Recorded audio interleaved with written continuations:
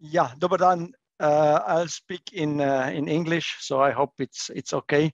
It's just easier to present uh, the work I'm doing, and uh, I'm very happy to be here. I'm very happy to be with you, and uh, thank you very much for the invitation to this interesting event, which is happening in Slovenia. So I will share my screen. I hope it works, uh, and and then we can start with my presentation. Just a second. You give me a a moment.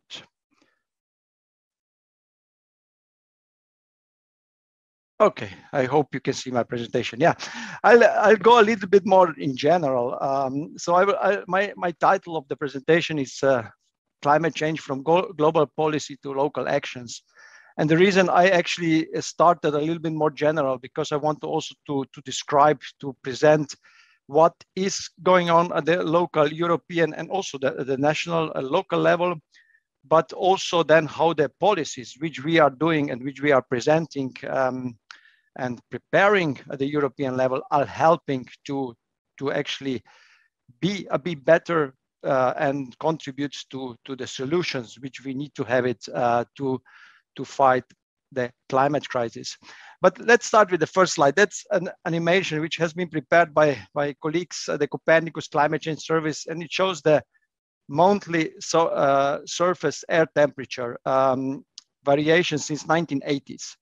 And you can see in this, uh, hopefully you can see well, well the, the, the animation that basically after year 2000, most of the globe became warmer than the long-term average.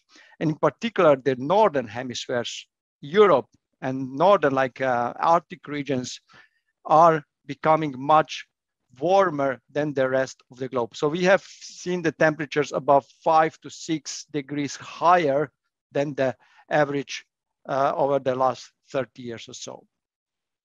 And we know the reason. Uh, the reason it's, of course, the greenhouse gases. So, uh, and here is the slide which shows about where we are in Europe with the greenhouse gas emissions, uh, and you can see that the trend is rather, uh, let's say, positive. So basically positive in the terms that it's going in the right direction.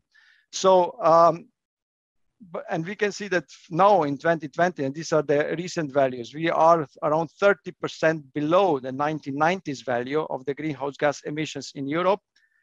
Um, and with the Fit for 55 package, we aim at the end of the, this decade be at minus 55.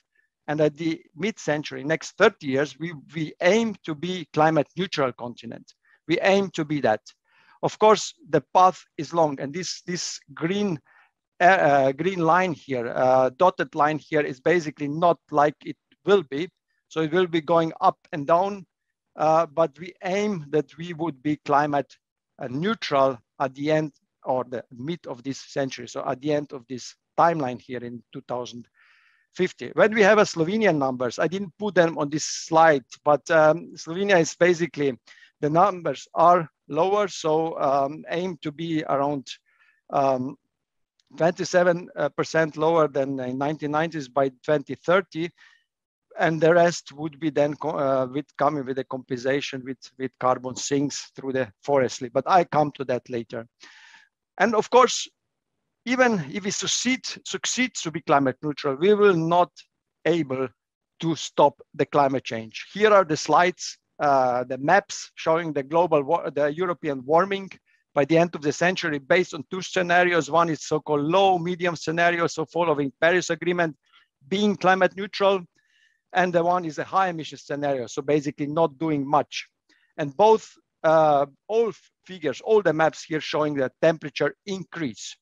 Uh, of course, this increase will be different, depend of the scenario, depend of the season, but you can see that the, the numbers are uh, showing above like two, three degrees at least warmer than what we are experiencing now. And that means that we are aiming towards um, other, let's say, related uh, climate extremes to this. Uh, and one of them is, of course, the, the heavy rain precipitation, the heavy precipitation. That means that we are, um, and this is the slide showing at the end of the century, the Europe um, projected uh, heavy precipitation, which leads to floods and droughts.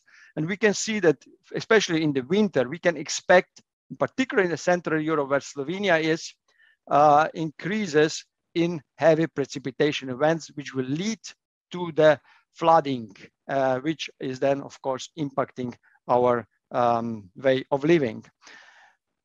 And this, and this is the general slide uh, showing many different, let's say, all regions in Europe. And what I wanted to give in this, uh, say in this uh, slide is all parts of Europe will be affected, will be impacted by the climate change, from droughts, coastal flooding in the in the southern uh, Europe, to the heavy precipitation events in the central northern Europe to forest fires, which are already happening now and will be happening even more in the southern Europe and also moving northwards.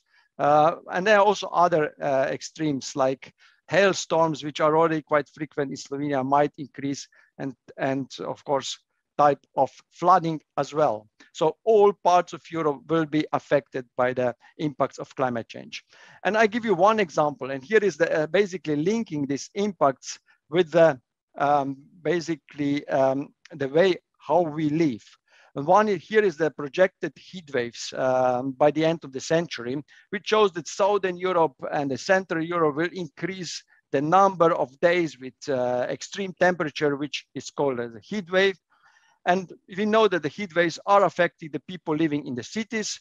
And the cities which are the most impacted by the heat waves are, of course, those uh, which have lower share of the green spaces. And on the right side, you can see on the map, the cities sh uh, showing how, what is the share of green spaces in the cities. And you can see that in the Southern Europe, the share of the cities with the green spaces is low. So basically the impact of the heat waves in the Southern Europe in the cities will be much stronger than in the in the other parts of Europe. Slovenia is somewhere in the middle.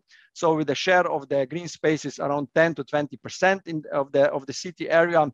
But and and that's of course will not be enough to have a let's say uh, nice way of living in the in the in the cities uh, if we don't do uh, any kind of changes there.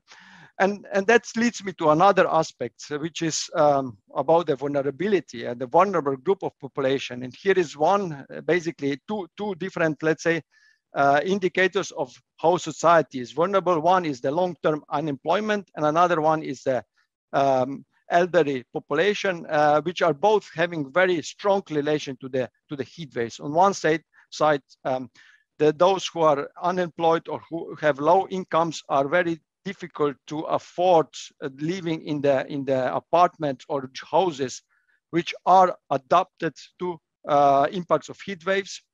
And on the other side, the vulnerable persons like those who are uh, above 75 uh, years old will be much more, let's say, also affected by the heat waves because of the uh, other, uh, let's say, um, health condition which might might have.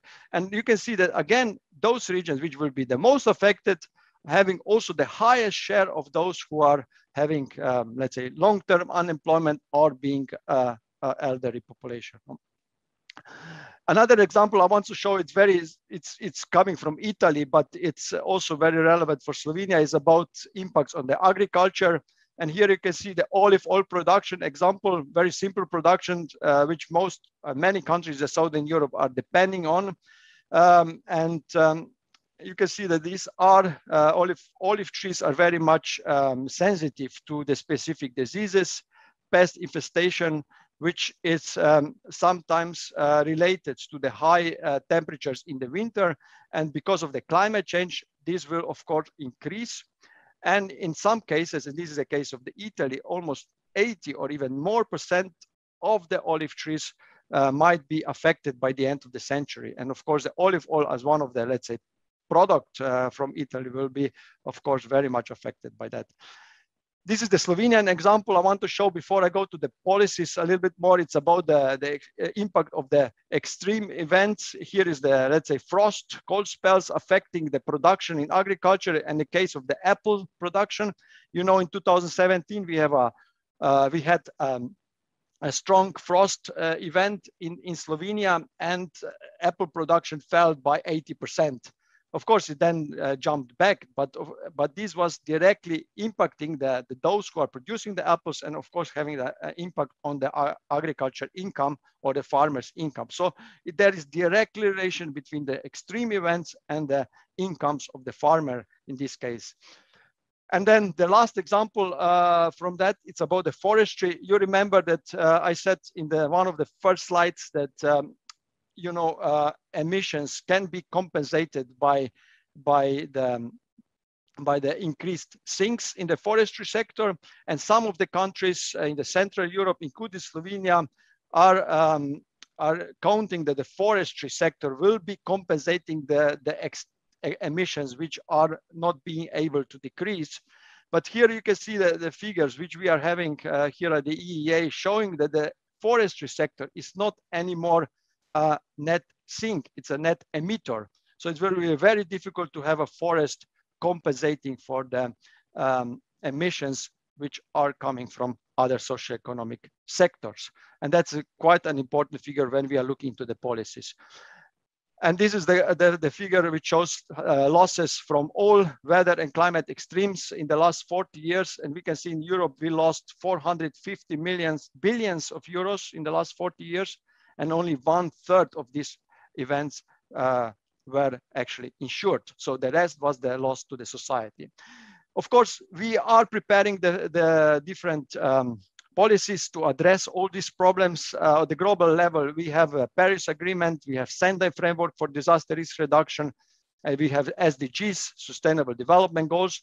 Europe is, of course, reacting to that very fast and very, um, uh, yeah, doing quite quite a lot on reacting on climate crisis. So we adopted the climate law. Uh, climate EU governance regulation is there.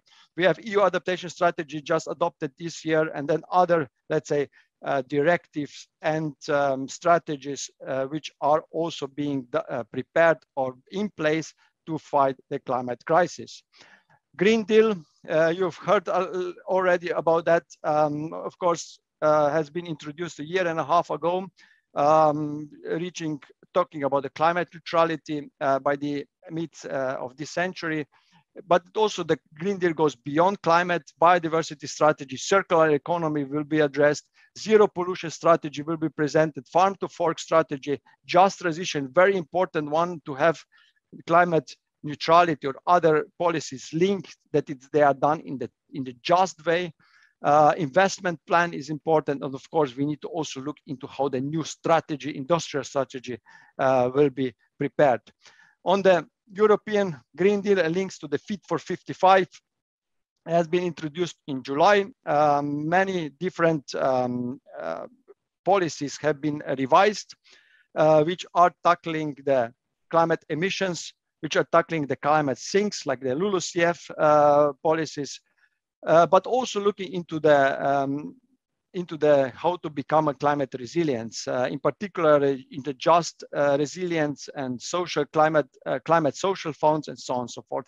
It's a package which is enormous. Many of different, uh, let's say, pieces of legislation are being revised. and this is the package which hopefully will lead us to the climate neutrality by the mid, mid of this century. Uh, just briefly to mention, we cannot just look into climate neutrality. We need to also look into climate resilience. EU adaptation strategies being in place, looking into more into the how to become smarter uh, in adapting, how to become more systemic in adapting, how to become more uh, faster in introducing implementation of adaptation, and also how to place Europe into the specific um, international context. And at the end, it's also important how we use, how we actually implement and use the actions at the local level. Here are some figures which you are aware of, uh, looking into the how the natural based solution can help us in becoming climate neutral, but also to increase climate resilience. And there are many local action be already implemented, but more will have to be done when we start investing into the, in the implementation. And this is my last slide, just to conclude uh, it's important to start making a right, right investment, not only in terms of money, but also in terms of efforts, uh, not only looking into the climate, uh, climate uh, neutrality, but also looking in climate resilience, like in investing into the adaptation, because we've seen that basically climate change will continue. Uh, there are many solutions which are available, but we need to start implementing them. Uh, more investment is needed, in particularly in new type of the solution, not only changing a little bit. We need to start thinking differently. We need to transform the whole societies and the whole econo economy uh, uh, globally, but also in Europe. And we need to have uh, we need to invest in long-term solution, not not uh, improving something which is actually only working for a couple of years, and working together at various governance levels. And most importantly, and this today event is also about that, we need to share our knowledge, we need to share our thinking, and we need to share our practices. And that's all from my side. Hvala lepa in nazaj do vas.